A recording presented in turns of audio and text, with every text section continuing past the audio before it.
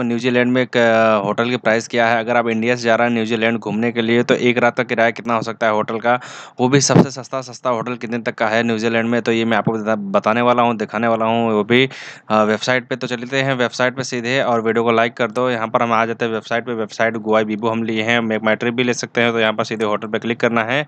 और न्यूजीलैंड आपको जानते हैं, काफ़ी अच्छा कंट्री है। तो यहाँ पर घूमने के लिए थोड़ा कॉस्टली पड़ेगा, लेकिन क्या है, कैसे सब चीज़ मैं आपको दिखाता हूँ। यहाँ पर देखो इंडिया इंटरनेशनल दो चीज़ें आते हैं तो हमें इंटरनेशनल बुक करना है। तो और यहाँ पर आने के बाद सीधे न्यूजीलैंड आप टाइप करेंगे। जैसे ही न्यूजीलैंड टाइप करेंगे, बहुत सारे ऑप्शन आ जाता है। मतलब न्यूजीलैंड के, आप देख सकते हैं, बहुत सारे लोकेशन आ जाता है। जिस भी लोकेशन में बुक करना चाहते हैं, वहाँ पर बुक कर सकते हैं। यहाँ पर देखो चेकिंग है चेकआउट है। चेकिंग मतलब कि किस दिन आपको एंट्री करना है, किस दिन आपको चेकआउट करना है। तो हम एक रात के लिए, एक लोगों के लिए बुक करना है। तो मान लीजिए हम उनतीस तारीख को एंट्री करते हैं तीस तारीख को चेकआउट कर देते हैं ठीक है?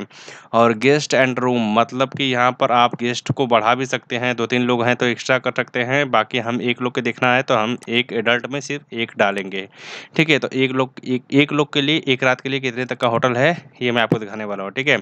उसके बाद अब ये जो होटल सब दिखेगा, ये सब पॉपुलर होटल होंगे मतलब कि वो होटल जो सबसे ज़्यादा ट्रेंडिंग में रहते हैं। हम यहाँ पर देखो, ग्यारह हज़ार आठ सौ पचास, पाँच हज़ार दो सौ तिरसठ छः हज़ार छब्बीस पाँच हज़ार छः सौ छत्तीस, सात हज़ार तीन सौ सात हज़ार छः सौ उनतालीस, चार हज़ार एक सौ इक्यानवे। मतलब ये सब वो होटल है जो सबसे ज़्यादा ट्रेंडिंग है, लेकिन हमको सबसे सस्ता होटल बुक करना है। इसके लिए आपको क्या करना है, सीधे पॉपुलरिटी पे क्लिक करना है, यहाँ प्राइस लो टू हाई कर देंगे, ठीक है? ऑनलाइन होटल बुक करने के लिए दो चीज़ें हमेशा याद रखिए, रेटिंग देखना है, कम से कम थ्री पॉइंट फाइव से ऊपर की रेटिंग होनी चाहिए, और रिव्यू ज़रूर देखना है पढ़ना है, टर्म्स एंड कंडीशन भी ज़रूर पढ़ो, ताकि आपको पूरी डिटेल मालूम पड़े, ठीक है? आप यहाँ पर देख सकते हैं सबसे सस्ता यहाँ पर होटल न्यूजीलैंड में आपको सात सौ सैंतीस रुपये से स्टार्ट है। सात सौ सैंतीस, सात सौ चौहत्तर, आठ सौ इक्कीस, नौ सौ नौ सौ चालीस, एक हज़ार पंद्रह।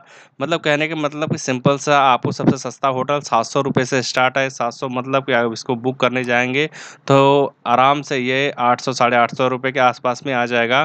कहने का मतलब आप पूरा होटल वोटल पहले देख लो कितनी फ़ोटो, वोटो देख लो, उसका रिव्यू देखो, रेटिंग देखो, सब देखने के बाद आपको क्या करना है, आपको सेलेक्ट करना है रूम।